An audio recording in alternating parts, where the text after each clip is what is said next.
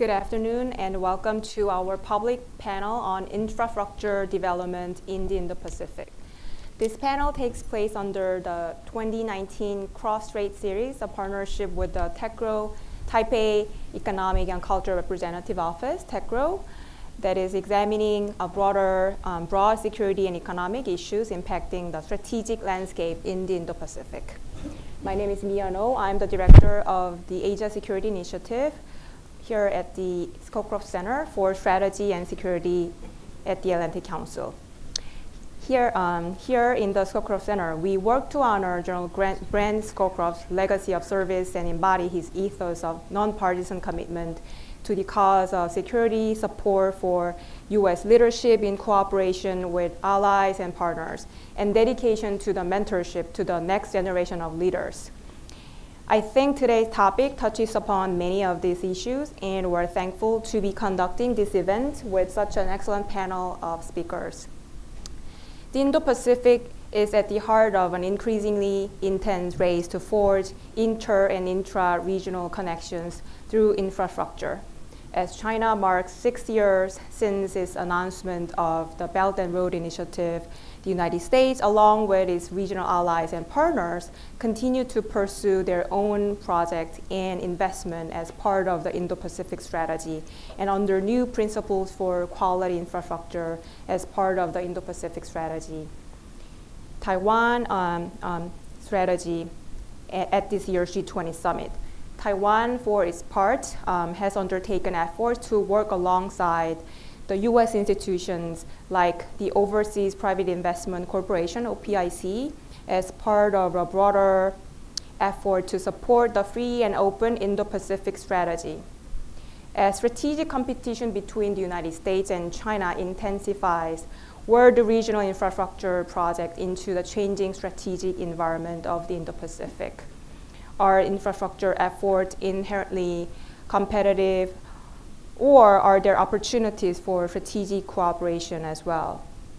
How can Taiwan and other like-minded countries and partners be incorporated into ongoing efforts to provide quality infrastructure in the region? As a reminder, this event uh, will be webcast live and on the record. Please join the conversation on Twitter at AC Scowcroft Center and hashtag ACAsia. Before we begin our discussion, I'd like to take this time to introduce the panelists who are able to join us today. To my left, we have um, Ms. Verinda Fike, the Regional Director of South and Southeast Asia, Southeast Asia at the U.S. Trade and Development Agency. Next, we have Dr. Robert Dohner, a former Deputy Assistant Secretary for International Economic Analysis and Senior Asia Advisor at the Department, U.S. Department Department of the Treasury, and a senior fellow um, with the Asia Security Initiative here at the Atlantic Council. Finally, we have Mr. Riley Walters, policy analyst for Asia Economies and Technology at the Heritage Foundation. I'd like to begin our panel with initial remarks for each of our panelists for um, roughly seven to 10 minutes. And we'll starting with Ms. For her insight and insights U.S. infrastructure initiative and Indo-Pacific.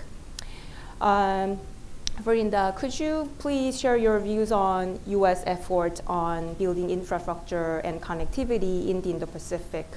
And what is the current status since Secretary Pompeo announced the U.S. plans on infrastructure last year, mm-hmm. July? Mm -hmm. And maybe could you share your experience um, about infrastructure projects preparation activities and public-private partnership in the region.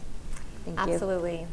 Thank you so much. And it's such a pleasure to be here at the. Atlantic Council, so thank you for the invitation to be here.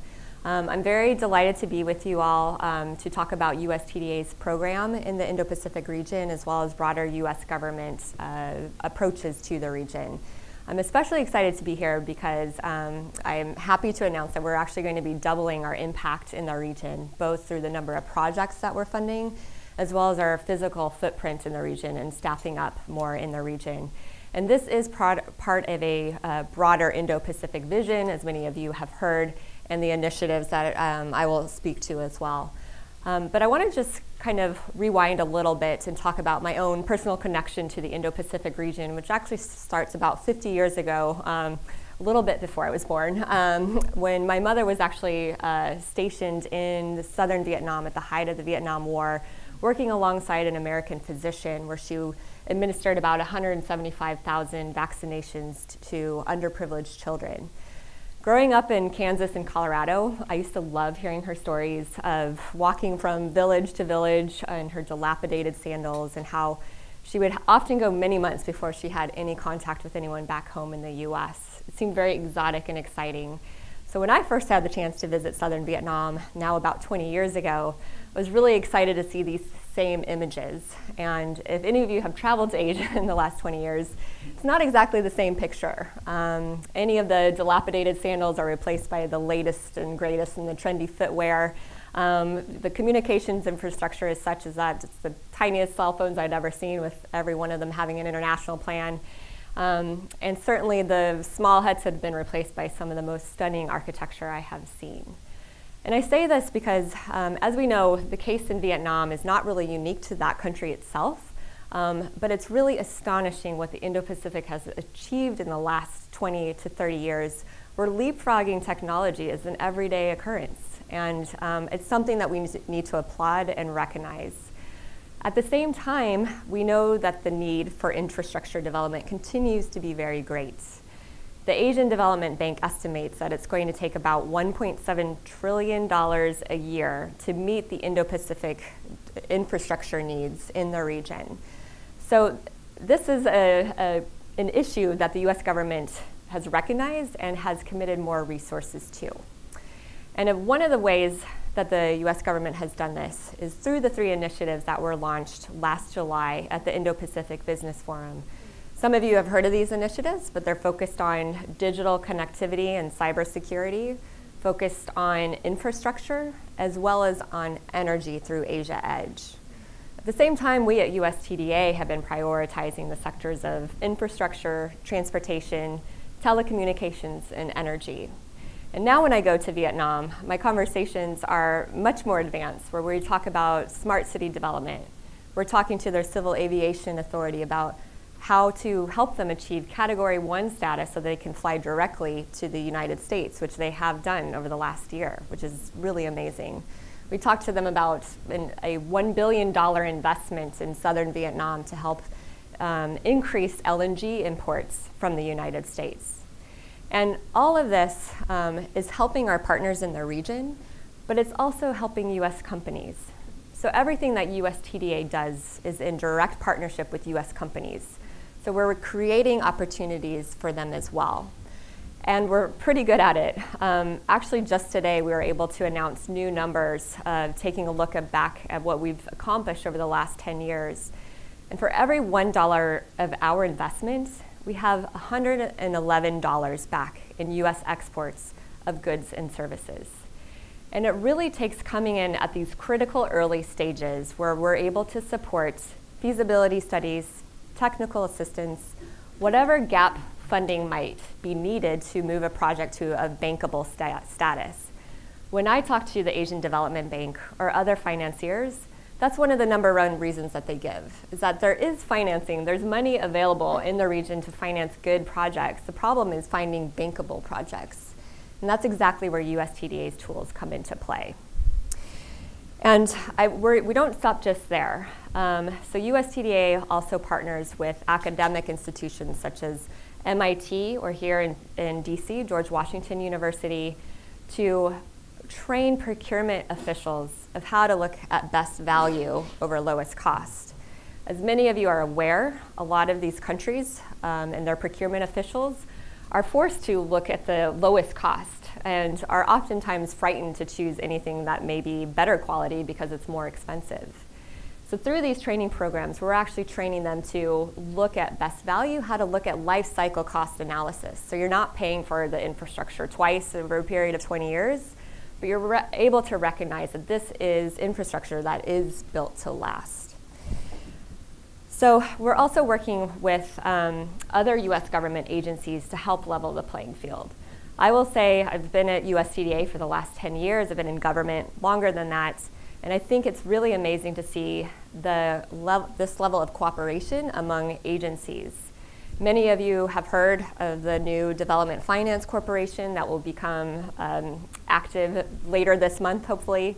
Um, and that was built out of the BUILD Act, which um, authorized OPIC, um, which will become the new DFC, to offer uh, equity financing for the first time and to double their investments in their region um, for $60 billion.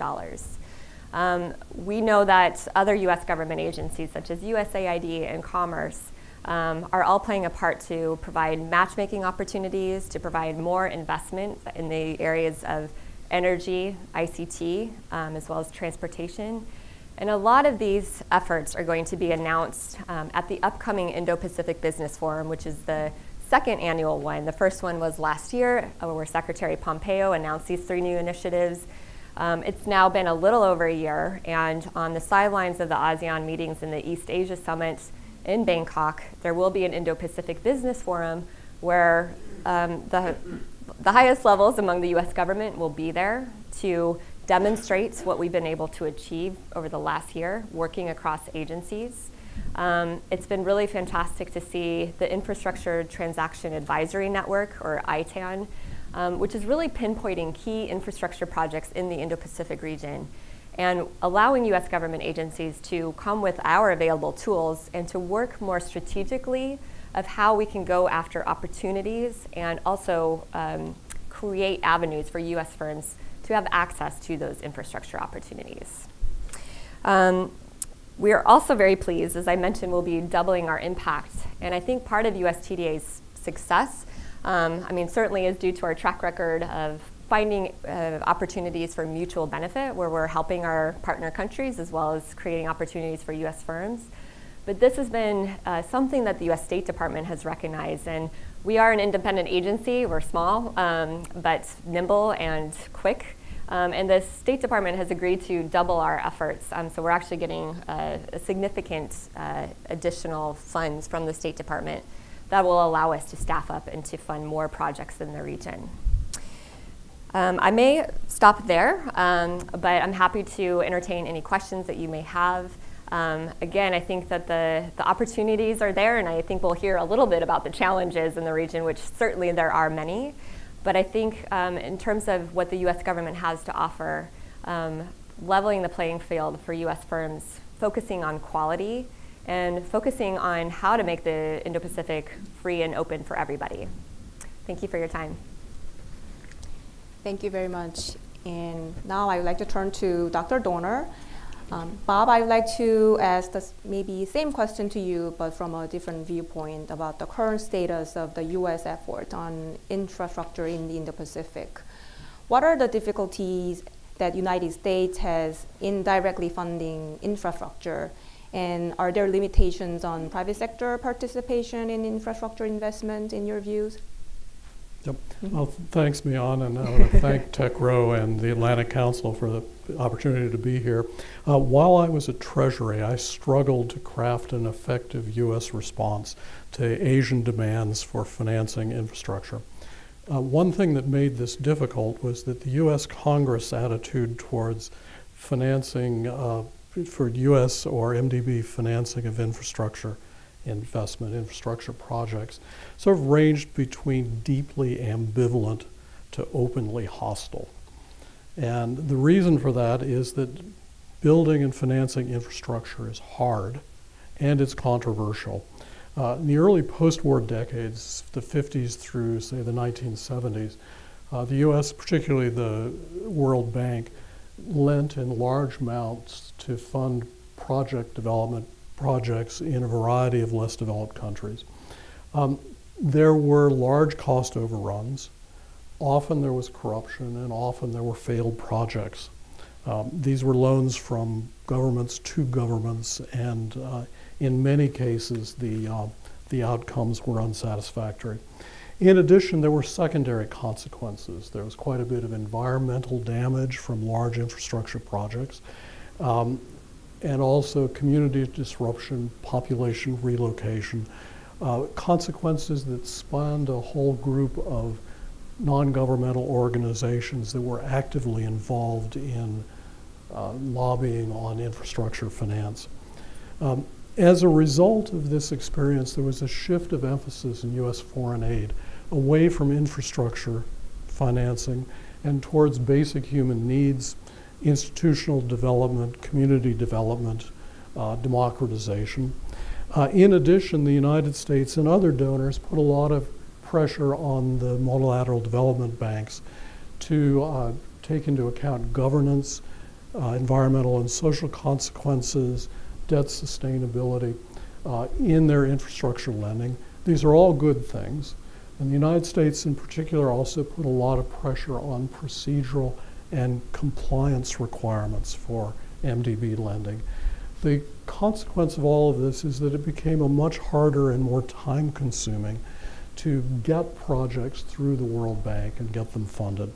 And this created a window for China with the Asian Infrastructure Investment Bank and for also the Belt and Road Initiative to provide infrastructure financing to countries that had found it difficult to deal either with the multilaterals or with the private markets. Um, the, China's infrastructure lending, uh, I think primarily now through the Belt and Road Initiative, there isn't a great deal of transparency or good data, but something like $50 billion a year a few years ago, probably a bit less today. Uh, it's a commercial program. It's designed in part to give China a way to get a higher yield on their foreign exchange assets. And it's also designed in part to employ Chinese construction firms and Chinese investment capacity as demand at home in China diminishes. It's not concessional. Um, BRI lending is probably about what countries could get from the World Bank or other MDBs if they went through all the hoops necessary for MDB lending. Um, China appears to be lending fairly indiscriminately to a lot of countries with low and high credit quality, uh, some with, with uh, near debt distress conditions. Countries like Pakistan, Venezuela, Argentina, Sri Lanka. And China seems poised to repeat the mistakes made by the United States and the MDBs in the 1950s and the 1970s. Uh, there'll certainly be failed projects. There'll be projects that have to be restructured and debt that ultimately has to be forgiven. So the question is what should be the U.S. response? Certainly, the United States cannot match China dollar for dollar. And certainly, we don't want to match China mistake for mistake. Um, a central part of the U.S. strategy towards infrastructure finance is to try to involve the private sector as a source of finance. And in fact, this is the holy grail of U.S. infrastructure policy development, uh, and for various reasons. The first, most obvious, is the desire to use their money because we don't have much ourselves. Um, the second is that there's, in fact, a huge pool of funds, perhaps $100 trillion in pension funds, in sovereign wealth funds, funds that would have a natural home in infrastructure investment, long term, high return assets, uh, if the investment opportunities can be created. And finally, the reason why private sector financing of infrastructure is so attractive is if we can design the contracts cleverly and if we can align the incentives, there's a good possibility of getting effective provision of infrastructure services efficiently and at low cost. But it's a big if. Uh, when the discussion comes to this point, you'll often hear the phrase shortage of bankable projects. And there are a lot of components within the bankable project uh, term. One is the design of effective, efficient programs, much of which TDA is and Verinda are involved in. Um, but there's also how to capture and parcel out the inherent risks involved in um, uh, involved in infrastructure finance. Uh, there's exchange rate risk. There's political and regulatory risk, which probably ought to be borne by the governments. There's technical risk that ought to be borne by the private investors. Um, there's problems of sharing and parceling out risks among those who have appetite for different exposures, particularly over for an asset that has a 40 to 50 year horizon. And so there are a lot of financial engineering questions, almost like the development of risk tranches that would be parceled out to different investors. Um, and finally, there's issues of scaling and uh, securitization that would provide a relatively low cost way of making infrastructure investment opportunities available to a variety of investors without having to go through the process of, of investment development. Um, for all of these reasons, private investment, while very attractive, has been quite limited so far, and it's been very expensive. Uh, something like two thirds of the private investment in infrastructure has been limited to upper middle income countries, countries like China, Brazil, Turkey. 98% of it has been limited to middle income countries, lower or upper middle income countries, very little, almost none to the poorest countries.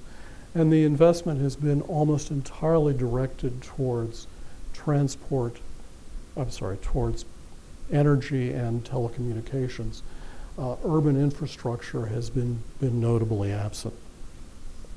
So, in order to, to crowd in private investment, to get success in this area, it's going to require the technical and financial expertise from a lot of players with experimentation to determine what works over a period of, of years to get it right and, and to scale it up. So, how do we react to China in the short term? Um, and here I have various observations, and I'll stop for discussion. Uh, not everything that China does is bad, and not everything that China does requires a reaction. Um, furthermore, dependency on China is a phrase that's thrown around far too casually without any real definition of what the dependence means and if it's a serious issue. Um, for the Belt and Road, for other Chinese infrastructure investments, it's important that we define what it is that we care about and what it is that we worry about. Uh, the experience so far has thrown up ports, and it, particularly the possibility that por- ports would be open to military use as one clear area of concern, but that's only a small part of the Belt and Road Initiative. Telecoms, maybe. Um, uh, standards, maybe in telecoms, probably not in other areas. Um, debt dependency, surely, but that's an issue that cuts both ways for the developing country and, and for China. Um, China will get the early wins in this process. The ribbon cuttings, the things that, that attract so much attention. But over time, the difficulties of projects will roll in. And in fact, they've already begun to appear in certain cases. And China has had to react, and actually has reacted pretty well and adroitly to redesigning, or at least being open to redesign, the, the Belt and Road process. I think the United States and its partners should focus on encouraging well designed projects that produce infrastructure services efficiently and at low cost. Um, we should press China in the same directions. And we also should concentrate on efforts that provide resiliency and alternatives to the borrowing countries, particularly in periods of debt distress. So we should press China to join the, the Paris Club and to uh, go through sort of established uh, methods of debt restructuring and debt relief. The last thing that I'll mention, and it's probably a it's a lesson for us more than a reaction to China. What's happened is that the less developed countries now have alternatives. They have choices. And the Belt and Road Initiative, the Asian Infrastructure In- Investment Bank, moved into this open space. So, for an effective infrastructure investment financing strategy, uh, the United States, U.S. partners should become more client focused. Uh, not everything that's done needs to be the best. Um, there may well be investments that are cheap and good enough, and U.S. and ally or partner policy should respond and take that fact into account. Thank you very much, Bob. Um, thank you very much, Bob. Finally, um, I would like to turn to Mr. Riley Walters. Um, Riley, with the 40th anniversary of the Taiwan Relations Act, uh, the President Tsai has emphasized opportunities for Taiwan to contribute to the Indo-Pacific strategy. You have also advocated for U.S. strengthening its relationship with Taiwan as part of Indo-Pacific strategy in, in, your recent articles and speaking engagement. So, what are the, in your view, what are the most real, realistic, concrete ways that U.S. and Taiwan and also um, other like-minded countries can make this happen? Sure. So, is this on? Can you hear me? Let me make sure this. There we go. All right.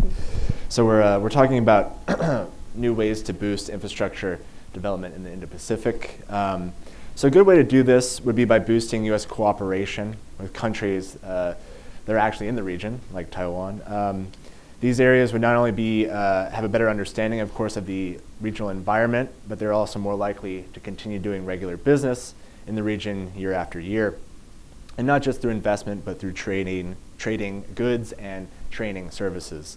And so if we're looking for partners in the Indo-Pacific region, um, of course, an easy answer would be to look at the partners uh, that are not already a part of the quadrilateral uh, consultations or quad dialogue, which tends to focus more on security issues. And so these countries uh, are Japan, Australia, and India.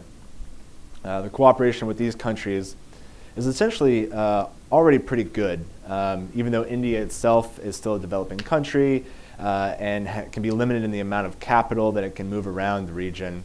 Um, but it wants to. So, Prime Minister Modi's administration has their look or act east policy to engage more with Southeast Asia. Uh, but even then, Indian investment in Southeast Asia uh, can be insignificant in relative terms. Relative terms. Um, and so India actually has its own limitations on its own infrastructure. For example, um, officials that I've met with say, you know, India wants to take advantage of the moving supply chains that are happening because of ongoing U.S.-China tensions right now, but uh, is finding it increasingly difficult given the, their capacity issues. Uh, meanwhile, though, of course, the United States historically does uh, have a good investment position already in, in, in Asia. Um, if we look at uh, foreign direct investment into members of the Association of Southeast Asian Nations, or ASEAN, uh, U.S. is actually usually number two, right behind the European Union. Japan is actually number three. And so in uh, 2017, the U.S. and Japan invested a combined 41 billion in ASEAN, uh, or roughly one third of all FDI into ASEAN. And it's pretty much the, the same for U.S. Japan investment uh, outside of ASEAN across Asia. Um, Japan has been a pretty aggressive uh, investment mechanism uh, throughout uh, Southeast Asia uh, for road, rail, and port developments over the last several years. But even then, the Japanese, I think, would suggest that investment isn't zero sum. So there's a lot of area cooperation. So it makes sense in 2017 when the United States uh, OPIC signed a cooperation agreement with Japan's version of OPIC, the Japan Bank for International Cooperation, to invest more in emerging markets, uh, like those you'd find across the Indo-Pacific. Um, surprisingly, Australia isn't as big an investor in ASEAN as you might think. Um, between 2010 and 2018, Australia invested a total of roughly 22 billion in ASEAN. just under what the U.S. invested uh, in the year 2017 alone. Uh, but Australia does have invested interests in various Pacific islands, which gives it a, a, a strategic um, uh, advantage over the United States. So, of course, Australia is an essential part of the Trump administration's Indo Pacific strategy, uh, and engagement will continue between the two. But outside of those, so beyond the Quad, I mean, who else is there? And so uh, there's at least one country in Asia that uh, has directly invested uh, in ASEAN over the last 10 years, as much as Australia has, and so that's Taiwan. Taiwan is sometimes referred to as the gateway to Southeast Asia, given its location between Northeast Asia and Southeast Asia. Uh, in 2016, actually, the uh, Tsai administration uh, launched its new southbound policy, a policy to economically and culturally engage more with, the, uh, with 18 specific countries in Asia Pacific. And so Taiwanese investment in Asia has riven, risen during that time, in particular uh, investments in Vietnam and Singapore. And so to date, Taiwan has invested roughly a total of 97 billion in those new southbound countries. South, uh, Taiwan's new southbound policy has a lot of potential to overlap with the United States' Indo Pacific strategy. The Indo Pacific strategy of the Trump administration focuses on free, fair, reciprocal trade based on open investment, transparency agreements, and connectivity. The new southbound policy focuses on promoting economic collaboration, building talent, and building relationships. See some similarities there. So last year, when the, uh, while the Trump administration was still publicly framing out its, its Indo-Pacific strategy, it made sense that Taiwanese officials were looking at ways to better integrate both the Taiwan and U.S. initiatives. So earlier this year, in fact, uh, acting president and CEO of OPIC, uh, uh, Dan Bohigian, traveled to Taiwan. And so it was there he met with his counterparts at the Taiwan International Cooperation and Development Fund, as well as President Tsai to talk about ways of greater, greater cooperation between the U.S. and, and Taiwan. Um, my only hesitation there is that um, OPIC and Taiwan uh, International Cooperation Development Fund cooperation may only actually uh, prioritize development in the few countries that recognize Taiwan as a diplomatic ally and not necessarily those within the Indo-Pacific. So that being said, um, the, there is importance of working with Taiwan in the Indo-Pacific. Um, it's reflected throughout uh, high-level official speeches and the Indo-Pacific strategy itself. Uh, if you look at the report uh, released by the Department of Defense, it recognizes the importance of democracies like Taiwan in the world and their, and their reliability in helping realize a free and Indo-Pacific uh, strategy. And so the US and Taiwan can and, and, should continue to engage in areas of finance growth in the Indo-Pacific, developing e-commerce and data governance, infrastructure, and energy development, which happen to be, of course, the four priorities for the Indo-Pacific Business Forum that'll take place in Thailand uh, next month. So there's plenty of room to work together uh, in international development. So all that being said, the U.S. can and, and should engage more with Taiwan um, economically uh, in these areas, but it, it should also engage more with Taiwan bilaterally. So when we think of trade investment and, and just infrastructure investment as well, a lot of these, these are inherently intertwined. So when we talk about infrastructure development, we're also talking about building new opportunities for trade. Um, but trade uh, and, and Taiwan, at least when it comes to Taiwan, Taiwan's finding itself increasingly left out of regional trade deals, like the Comprehensive and Progressive Trans-Pacific Partnership. Uh, mostly because CPTPP members are potentially afraid of angering China because Taiwan tends to be a, a sensitive issue for them. Uh, but perhaps if the US and Taiwan can pursue its own free trade agreement uh, and encourage other countries, uh, members of CPTPP, like uh, Canada and Japan, to invite Taiwan into CPTPP as well. This could help facilitate U.S. and Taiwanese in, uh, investment cooperation throughout Southeast Asia uh, and the Indo-Pacific. Um, uh, the U.S., as a way to get to that, of course, the U.S. and Taiwan can establish a high-level economic dialogue, much like uh, the U.S. and Japan, uh, Japan had uh, a couple years ago before its own free trade agreement began. And during these dialogues, it can focus on things like smart cities and e-commerce uh, development, bridging more the U.S. and Taiwanese development banks and things like that. So uh, just like members of the Quad, uh, Taiwan has the potential to become an important partner for international development in the Indo-Pacific. It's just getting there. That's a little bit of a challenge these days, but it, it's possible and, and, should be encouraged more. Thanks. Thank you very much, um, all the panelists, for your um, in very insightful opening remarks. I actually would like to go back to um, the initial questions that I raised in my um, initial remarks um, on basically where do regional infrastructure projects into this changing strategic environment or architecture in the Indo-Pacific, and then and then would you view that infrastructure effort inherently competitive, or there's a room for strategic cooperation as well? And then we heard that um, all of you have just touched, up, touched upon, um, I mean, in a different degree. And maybe I could mention briefly that I just got back from Asia, and then there's a um, it was a sort of Asian Davos forum, and then um, I um, spoke on the panel on the U.S. Asia strategy, and then mostly talking about the U.S. Indo-Pacific strategy. And then the question that I got from the panelists and then floor was that um, they're still struggling to understand the concept of U.S. Indo-Pacific, and then is it is it really same with the, the concept of Japan? And and my answer um, to them was it is a still development evolving concept, and um, and then but then we have to really talk about um, this vision is and then and then like Bob mentioned um, it's directly favoring India and then disfavor China and then is it a question to countries, and we're talking about Southeast Asia, and then um, and then making a choice between the United States and China? These kind of fundamental questions, and um, and maybe I could um, um rephrase.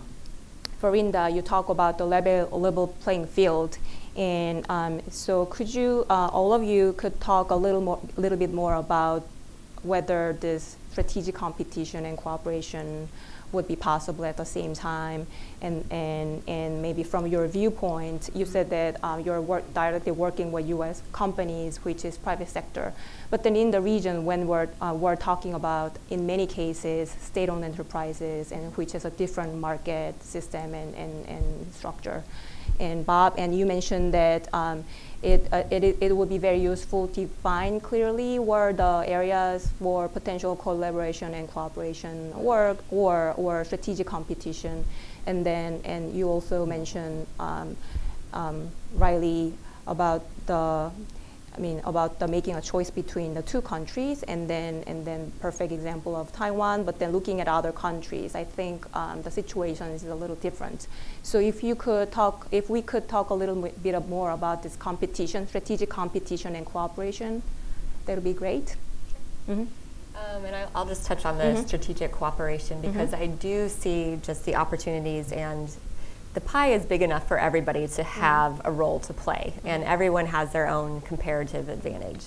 And I think, um, you know, Riley mentioned Australia. We just signed an MOU when um, Prime Minister Morrison was here a couple of weeks ago to partner with them on the Pacific Islands because that is their comparative advantage, as you mentioned. Um, and they have strengths there that we want to capitalize on.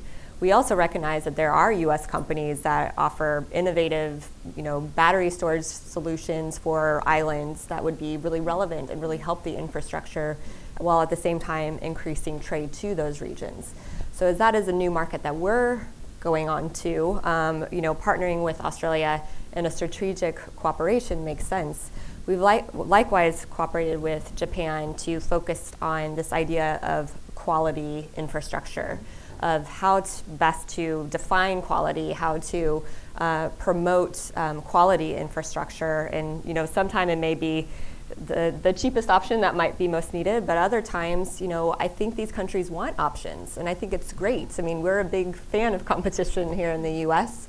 Um, and when we talk to our partners, it's great that they have this number of players at the table that they can choose the solution and the partner that works best for them.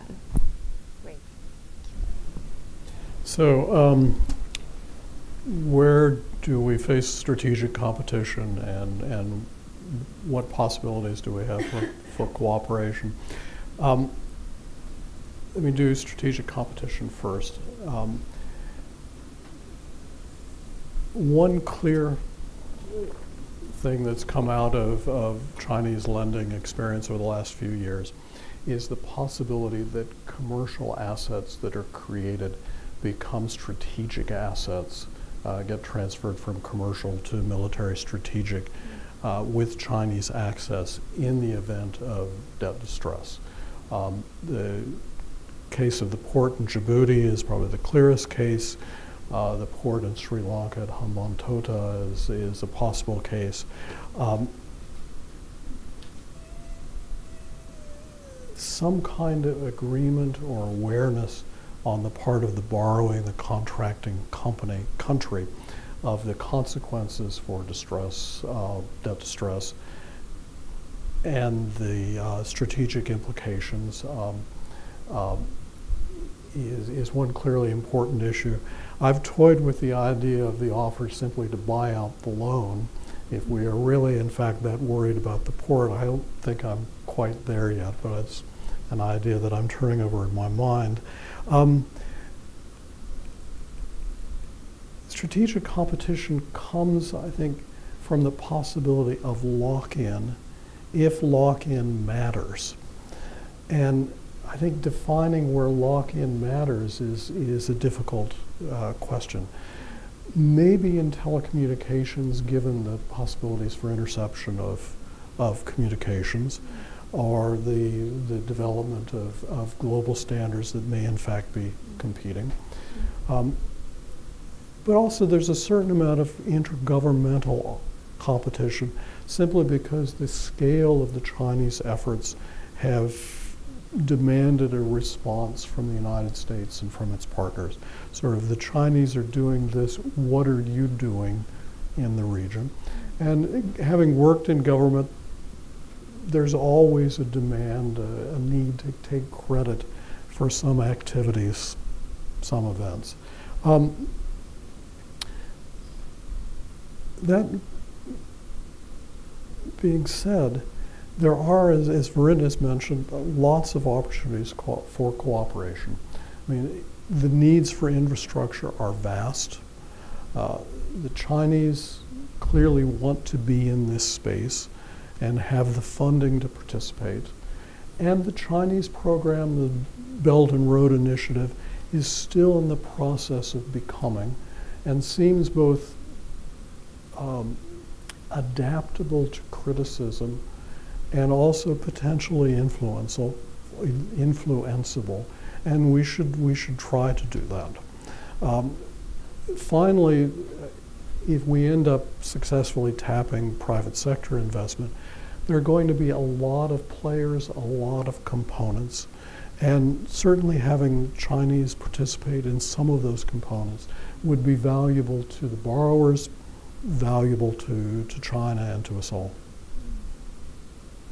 So I, I think um, much like uh, we, we talk about Chinese investment in the United States, Chinese investment in the Indo-Pacific isn't necessarily abjectly just uh, rejected or, or is should be rejected either. Um, obviously, it's it's indicative of just sorting out the good from the bad. And so I think uh, you know we've we've heard reports of the State Department doing this these efforts to actually engage with some local governments uh, across these areas to make sure that you know the contracts that you sign for these infrastructure projects are legitimate that they're not just you know they, they don't lead you to a debt trap or you know basically negotiate negotiate away some of potentially uh, strategic interests um, but that being said, you know, um, yes, there's there's a lot of areas where I think there, there's opportunities for everyone. Um, it's not just the United States. It's it's China. It's Taiwan's new southbound policy. It's India's look east policy. It's it's South Korea's southbound policy or uh, uh, go south policy. It's everyone's looking to Southeast Asia nowadays, and so there is a lot of room for competition, uh, a lot of room for cooperation as well. Um, and it's it's not just um, it's not just competition. It is cooperation. So there, there is that. Um, one thing I'll note though is you know we have to also take into factor that it's not it's not the U.S. and China competing for some just uh, vague concept. There are also the local governments as well, and the decisions that they make that take into factor. And so these vary across, not just within countries, but across countries as well. Uh, and so it, it, varies depending on, you know, you have various levels of corruption, various levels of already sort of tacit feelings toward one nation or the other. Uh, and so that has a, a, plays a factor into all these decisions as well. Um, and just, I'll have to note, um, economics is just a big part of this as well. I think a lot of the things that we, we, we kind of talk about looks a little bit more into the, the political, the IR field, right? Uh, strategic gaming, but economics plays a big part of this as well. And so I think one thing that you'll, you'll probably notice is for 2018, uh, a lot of U.S. foreign direct investment actually left Asia, left the world because of the Tax Jobs and uh, Tax Cut and Jobs Act. A lot of U.S. investment was repatriated back into the United States. Not not to say that that's necessarily a bad thing, right? But just if we're looking at numbers, we shouldn't focus on just one year. We should look at the trends. And the, the trend, as I, I hopefully mentioned earlier is that the U.S. is already a huge investor in, in Southeast Asia. Thank you. Um, before we open up um, the floor, maybe um, I I can ask one more questions on digital connectivity. I know that we're talking about mainly hard infrastructure, but then as you mentioned, Secretary Pompeo, one of his three initiatives on digital connectivity, and then China's recent announcement, Digital Silk Road, and I believe that this technology is the field where um, we can see more clear, I mean, clear uh, competition, strategic competition between the two countries, and then has a more um, national security implication in, in all the countries in the region. Maybe, um, so I'd like to hear your views, all of you, and maybe Verinda to you, maybe you could talk about one or two examples of, um, of your bankable project or or any any project you could introduce to us. And then, Bob, would you find more difficulties uh, when um, when when we run the project in terms of telecommunications or IT, ICT or digital connectivity? And then maybe same question to Riley. Absolutely. Mm-hmm. So I think what we're finding in the mm-hmm. digital space is mm-hmm. that it, it is now cross cutting every yes. single sector that we work mm-hmm. in. So if you're talking about transportation, we're looking at intelligent transportation systems, emergency communications. Um, you know, certainly we're working a lot on cybersecurity, mm-hmm. which again is an area really where U.S. companies are highly competitive. Um, so we are lucky to have, I mean, Silicon Valley and all, all of the excellent firms there. Mm-hmm. And I think, you know, as sort of one of the pioneers, I think, in this space, the US has really looked to for quality, for security, for safety. We're known for a lot of those characteristics that makes um, those companies highly competitive, I think, in the markets that we're working. So we expect, um, again, Secretary Pompeo announced this digital connectivity and cybersecurity partnership. This is a very robust um, interagency uh, collaboration across a number of US government agencies that are thinking critically about this and also looking to industry to provide guidance to us in terms of where support is most needed, um, how the US government, I think, especially when you're talking about cybersecurity or some more national security issues, having the US government involved is very helpful. Um, but I think it's, a, it's an area where we will likely continue to see a trajectory of, of growth in the future. Thank you. Bob? So let me try the, uh, the digital connectivity question. I'm an economist, I'm not a, a um, an ICT specialist, but it strikes me that the things that people worry about, about the digitization of the infrastructure system, is spying, intimidation, and general security. Uh, and spying yes, that's a concern. It's a concern for for any any country, including the United States and including China and others.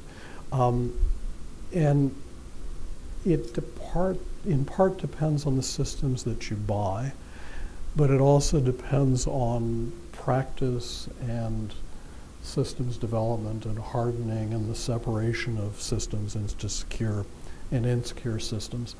Um, intimidation, I think, is, is more difficult uh, and maybe more limited. Um, people think about what the Russians did to the Ukrainian electric system uh, several years ago.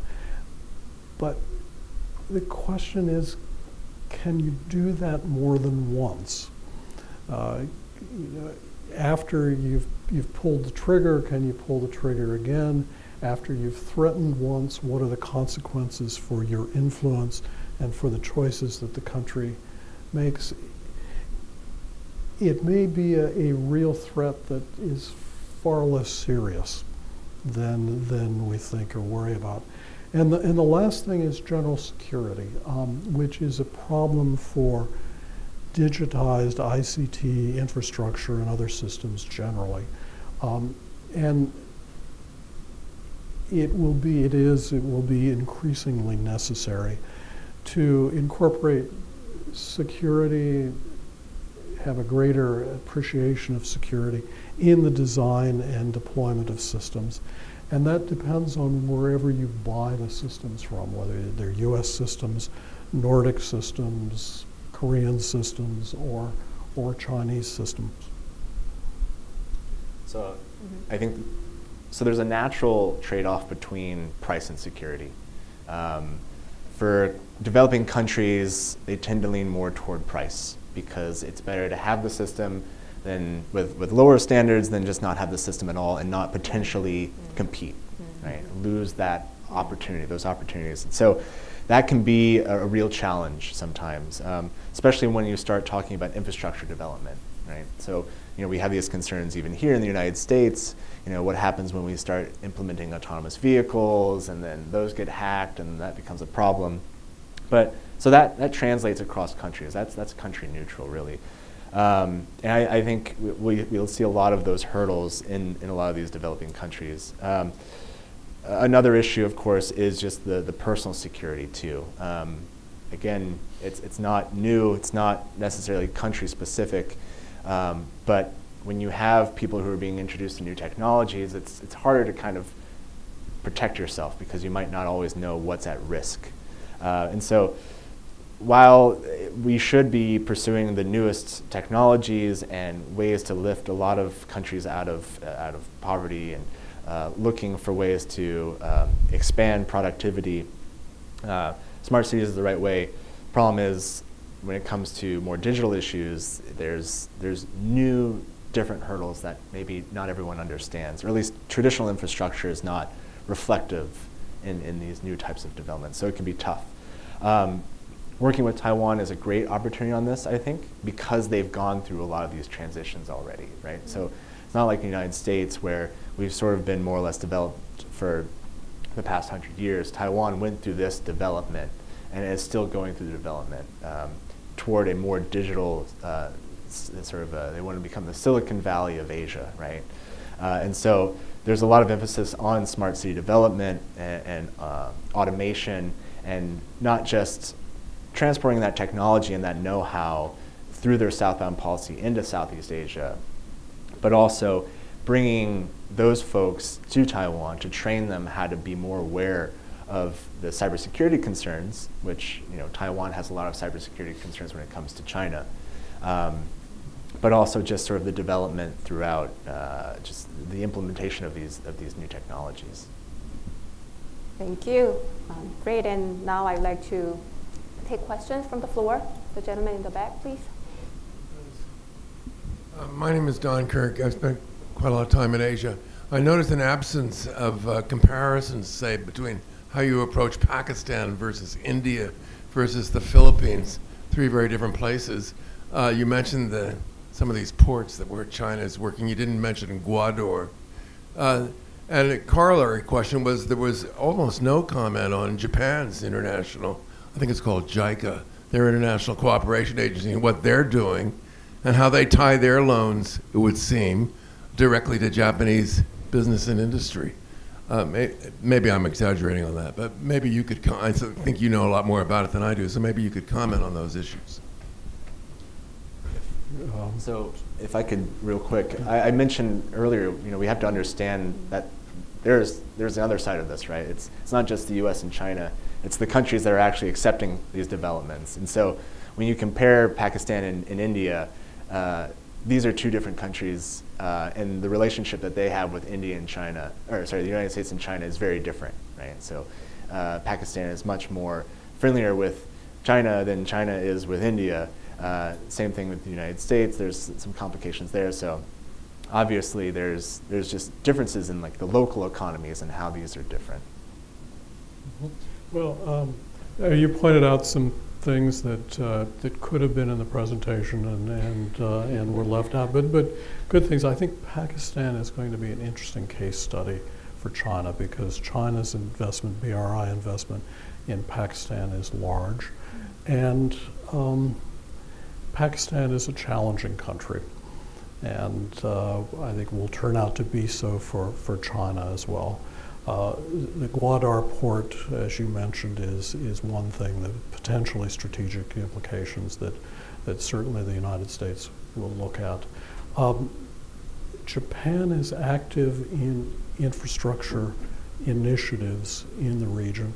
In fact, the whole Indo-Pacific strategy is essentially a Japanese initiative that was adopted by uh, the United States. Um, and Japan has, for several years, offered a quality infrastructure program, in their term, as an alternative to Chinese lending. It's a more expensive, uh, at least upfront, more expensive program than uh, than China's, possibly uh, with a lower adjusted cost over the whole horizon. Uh, the tied aid tied procurement point that you made is, is an interesting point. It was certainly a characteristic of Japanese loans uh, for a long period of time. That's no longer the case. I, I know at, at, Treasury when I was there, we, we pushed very hard uh, on Japanese tied aid, uh, ultimately successfully. Uh, procurement practices, both for the MDBs but also for the Belt and Road Initiative, uh, are important issues, and it's part of what China will be pressured on um, as they they um, they go forward because Chinese lending has generally involved procurement from China, as well as the um, the assignment of Chinese teams to actually build the infrastructure project.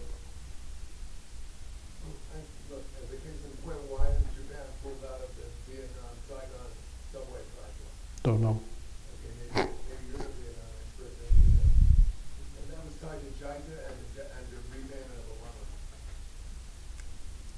Okay, thank you. Would you like to? Actually, we know Japan. We don't know subways. No, sorry. so maybe take two questions from this gentleman, and then, and please identify yourself. Thank you. Uh, David Painter. I'm an independent uh, development finance advisor. Um, I wanted to ask, uh, to follow up on this question of strategic of uh, strategic cooperation uh, within uh, within Asia between the U.S. and Asian uh, countries in the context of infrastructure in third countries, and in particular, I would um, like if anybody could comment on the potential for the U.S. to cooperate with Korea, South Korea. Yep. Yeah, yeah. Oh, go ahead. Uh, thank you. I'm Leon Weintraub. I'm a retired member of the, of the, Foreign Service of the United States. Although the, the event is labeled infrastructure, the three big themes I heard by the speakers was infrastructure and trade and investment.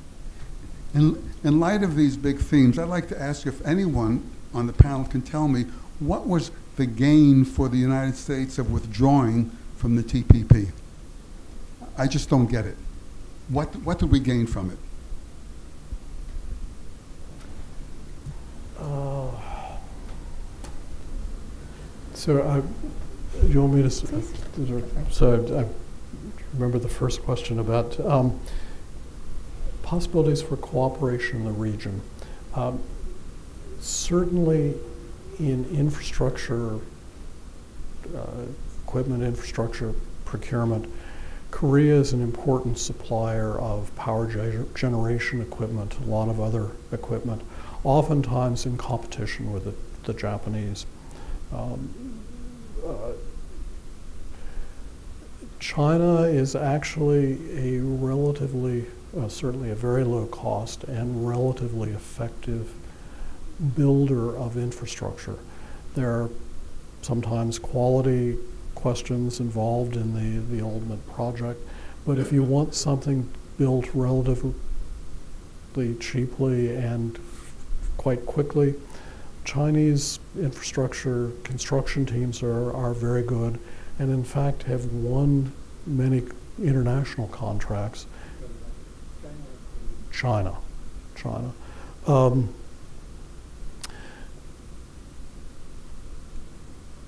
uh, ICT equipment, but not telephone network equipment, is a, a U.S. specialty. Uh, really, the alternatives to Huawei are Samsung and Nokia, and one other Nordic, I can't remember. Um, so, and in addition, there's just a lot of interest among countries in the region Japan, Australia, uh, Korea, India, in cooperation in meeting the regional infrastructure demands. Um, want me to do? I can just add a tidbit. Um, I mean, I think that there is a general openness to cooperating and partnering directly with Korea on infrastructure assistance. There's initial conversations happening with my agency in Korea, with you know the DFC, um, and so there uh, Korea does have a, a, relatively new entity, about a couple of years old, that is doing infrastructure financing as well as project preparation, which is similar to what USTDA does.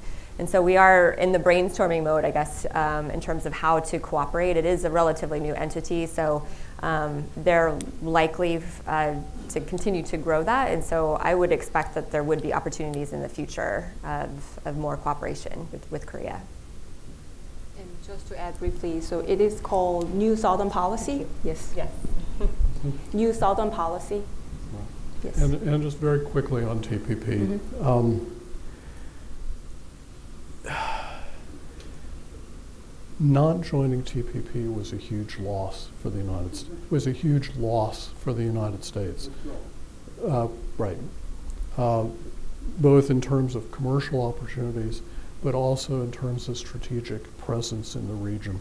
I knew a lot of people who were involved in the TPP negotiations, and starting in late 2015 and throughout 2016, there was just this increasing sense of doom about the TPP negotiations because after two decades of very severe trade adjustment in the United States, it was just a bridge too far at the time. Um, I th- think the outcome was independent of the 2016 presidential election. Um, given the challenge from Bernie Sanders and Hillary Clinton's response, I think it would have been very difficult to impossible for a Clinton administration to join the TPP. Um, certainly, when Donald Trump was elected, it, it became impossible. But the United States left an awful lot on the table when they pulled out of TPP. I'll just say um, for TPP, it was it was sort of a trade-off. Um, I think if you people who focus more on foreign policy, they would have said the United States should have joined TPP on day one to send a signal to China that look, you're being you're being cut out, right? So we're we're gonna we're gonna go on without you, um, and we're gonna we're gonna show you that your industrial policies aren't what the rest of the world wants, right? If you talk to some more economists, they kind of start pulling back on that. Uh, they say TPP wasn't necessarily as efficient as we think. It's not. It wasn't the gold standard of trade deals that everyone kind of put it up to be. Um, at least from a, a, free trade point of view. Um, trade standards maybe, but not from a free trade point of view. And so it doesn't necessarily it didn't necessarily do enough to address things like state-owned enterprises and subsidies. Um, if you look at countries like Vietnam and, in Indonesia who are members of TPP, even they now have some exemptions from some of their standards, um, which they, the other members don't have to dispute, can't dispute for a couple of years. And so um, there's a bit of a trade-off there. Uh, and so I think really your opinion of TPP really depend on which one of those camps you're coming from. Um, for cooperation in, in, third countries, certainly there's, there's opportunity, and I, I think the United States is trying. Other countries who are investing, like Japan um, and like Taiwan, are, are looking for these opportunities. Problem is, they're just, you're, you're kind of, you have to wait and see. Um, you know, there's, it's, finding the right opportunities is, is itself a, a task, and, and making sure that it's you know, profitable and that there is actually a, a, a necessity for it, uh, not just because it, you know, someone wants a port. You have to kind of provide economic reasoning for why they need a port. So. Thank you. And then we'll take two questions from the lady too. Hello, uh, my name is Harjap. Uh, I'm a digital democracy specialist uh, at the International Republican Institute. Um, I just have two quick short questions. Um, on the digital connectivity cybersecurity objective, um, it would be great if we could just hear a little bit more elaboration on what the interagency collaboration entails. Uh, and then secondly, it was interesting the point brought up about MIT and some other collaborations focusing on procurement and cost effectiveness. I'm curious, are there any other initiatives uh, reaching out to Silicon Valley or reaching out to tech companies in that regard uh, to improve the way that we look at the digital technology from development space. And then on the flip side, um, I know we've been talking about investment infrastructure in Indo-Pacific, but what uh, kind of dawns on me is that unlike the cooperation collaboration that's happened with our European allies, I do feel like there is uh, a bit of disagreement, a bit of difference in approach and so I wanted to hear are there any lessons learned or any interesting insights on trends in the way that we're actually cooperating or trying to cooperate, the US, I mean the US, um, with, for example, the Quad or other countries in Indo Pacific?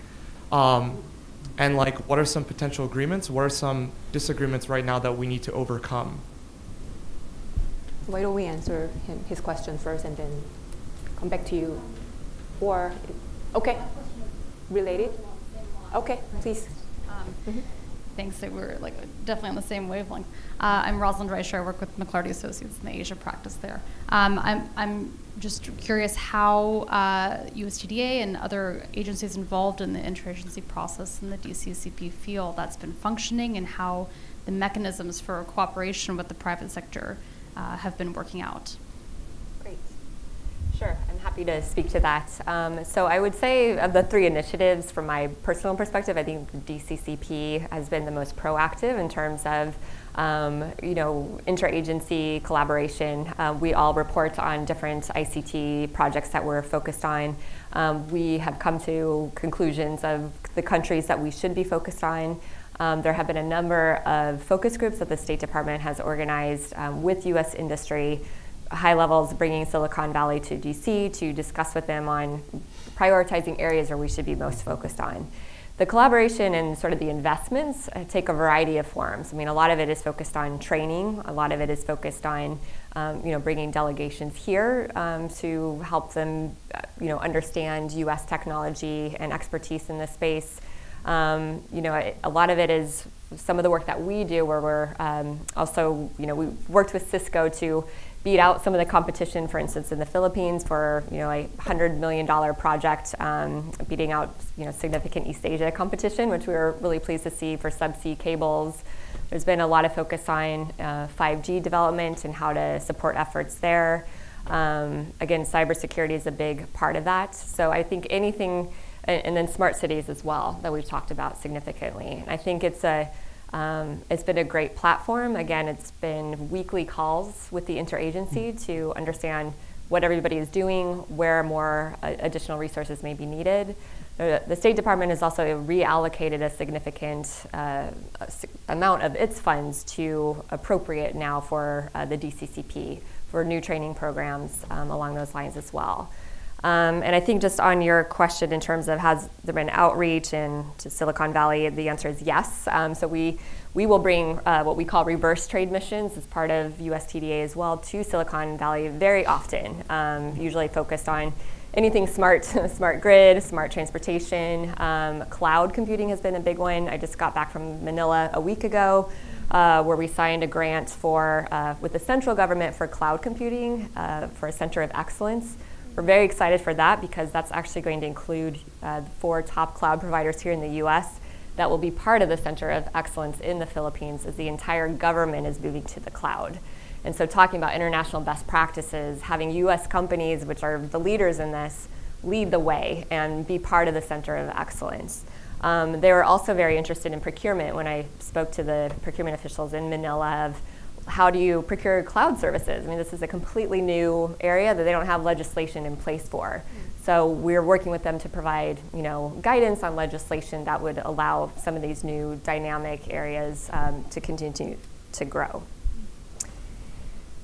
Um, I don't know if I have much to say on in terms of if we're seeing some disagreement in approach. Um, I mean, I think for the most part we have been fairly aligned. If you're talking about the Quad in terms of priorities, um, I think you know it's difficult. I think to get con- to consensus always um, when you're working even within one country. Um, but I think for the most part, I think that there's a lot of uh, one of the platforms has been focused on quality infrastructure everyone can agree that when you level the playing field and leveling it for everybody to play, we all benefit. And so thinking about it in terms of international best practices when it comes to procurement um, is really the area that we've been focused on. And so that has less areas or potential for disagreement um, when we're all on the same page on that front. I don't know if others have thoughts there.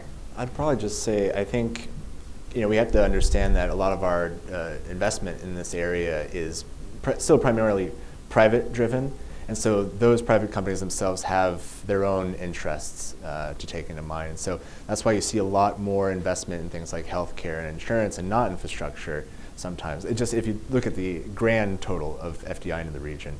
Um, so there's that, that sort of trade-off. I mean, everyone has their vested interests. It's just kind of um, making sure that they're aligned. Uh, and so uh, that, that can be the hurdle, I think, sometimes.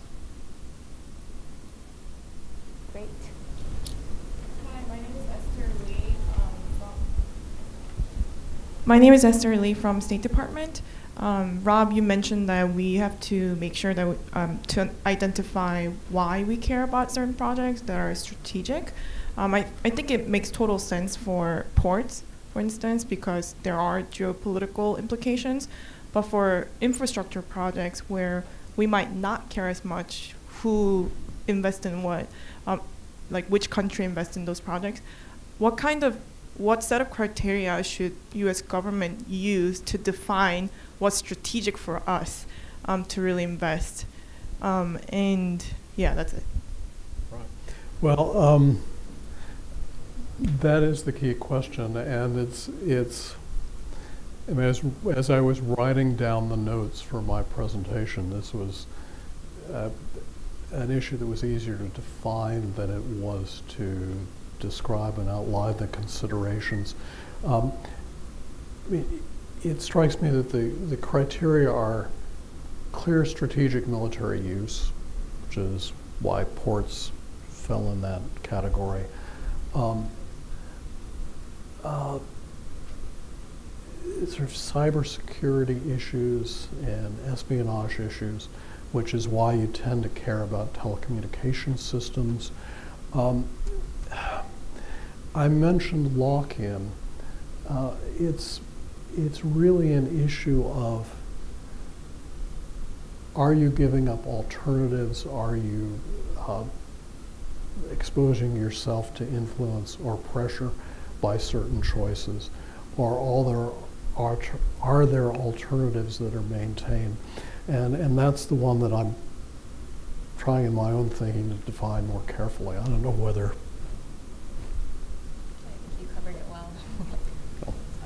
Yeah, I mean, I think generally, you know, if we consider the immediate military implications, um, that that's usually, I guess, the, the top down, right? Um, then you can go into things like telecommunications and then energy.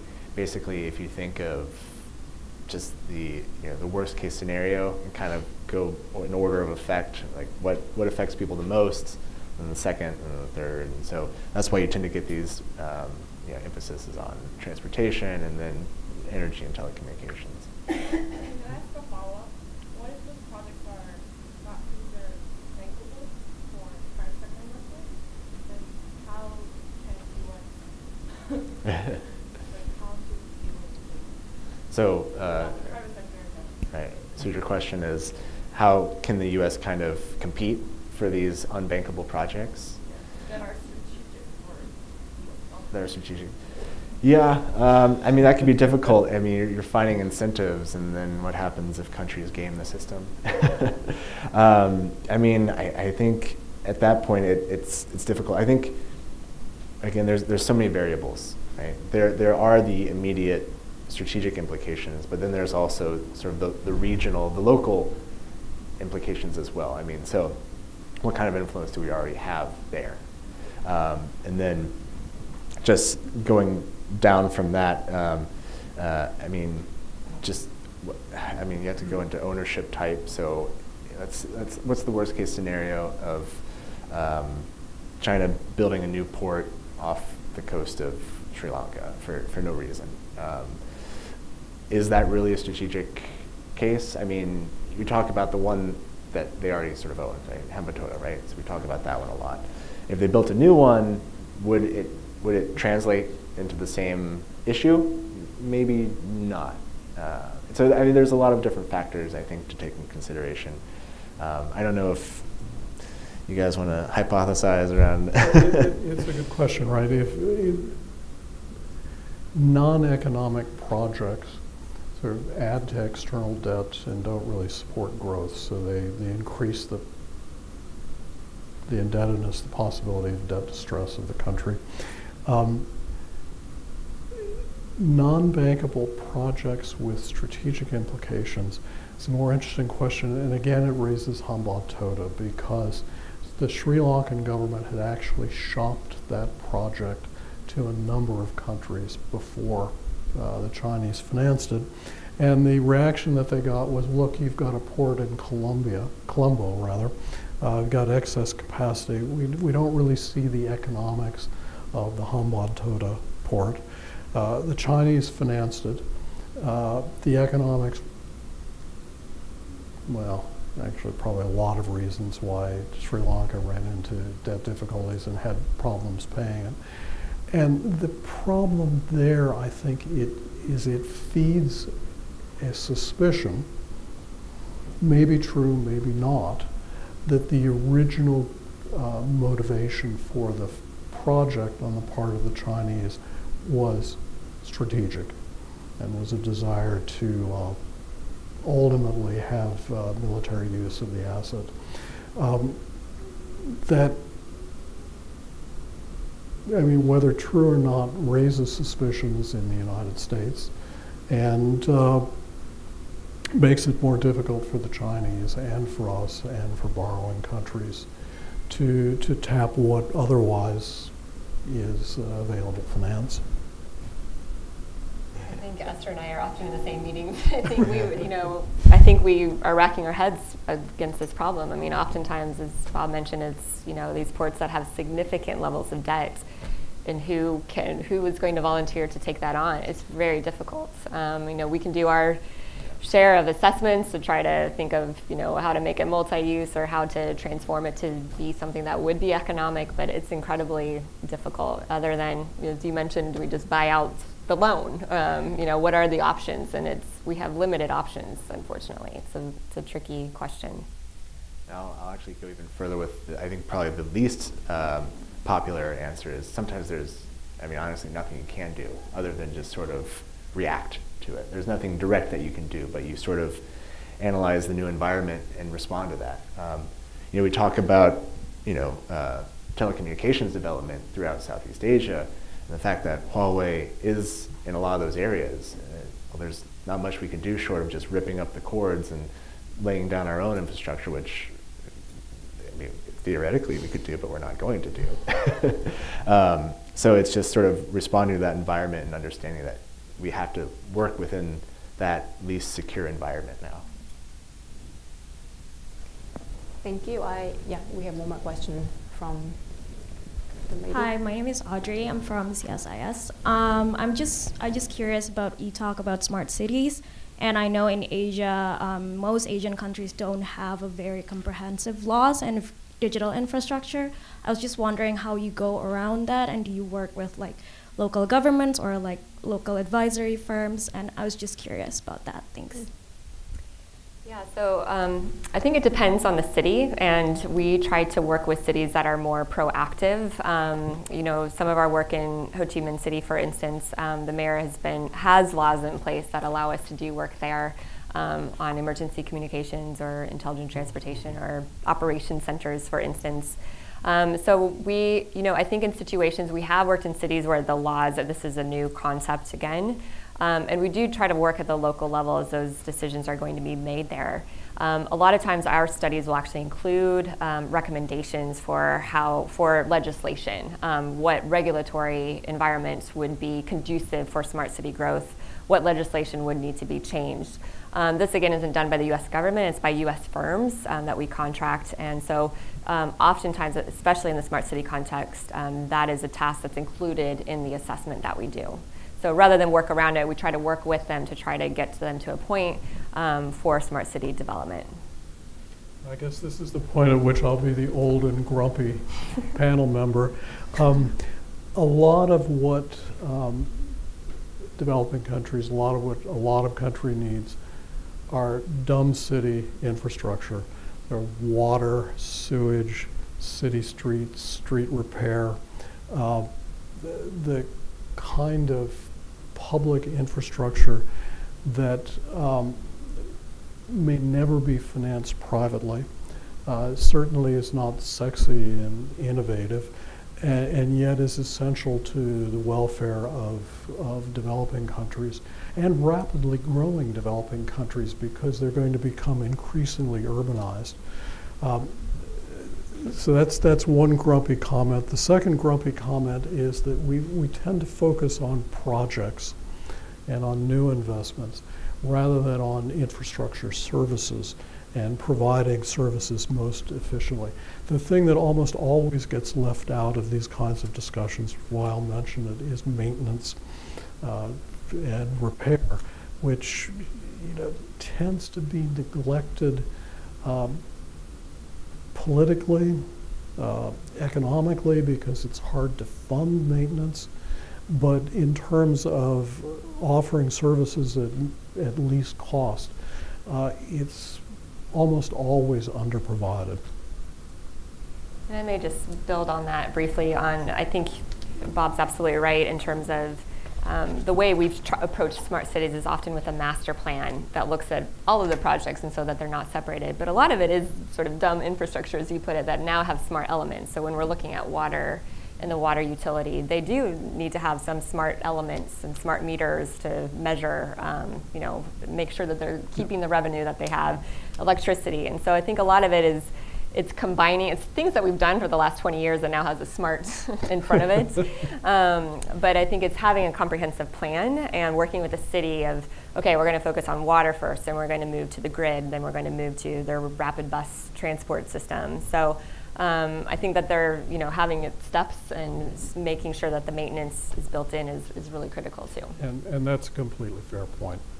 Um, so. Thank you. Um, any more questions or other than that, um, I thank you very much again for this great panelist. And um, I mean, myself as a moderator, I have learned a lot, and I hope you also enjoy this session and discussion. And uh, we will come back to you with the second set of this roundtables, I mean, public event series. Thank you so much. Thank you.